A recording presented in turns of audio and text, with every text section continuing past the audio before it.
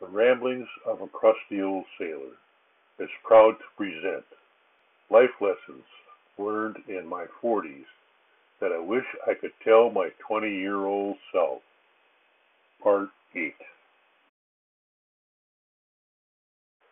Manage Health Your body is the only one you'll have for life. It's much easier to stay in shape when you were in shape to begin with. It's much more difficult to get in shape when you've let yourself go a bit.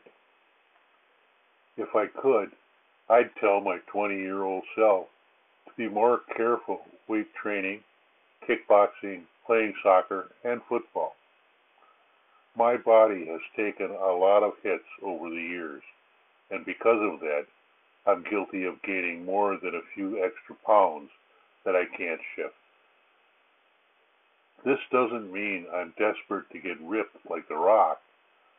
I'd just like to be able to get up off the couch without every joint in my body crunching and cracking.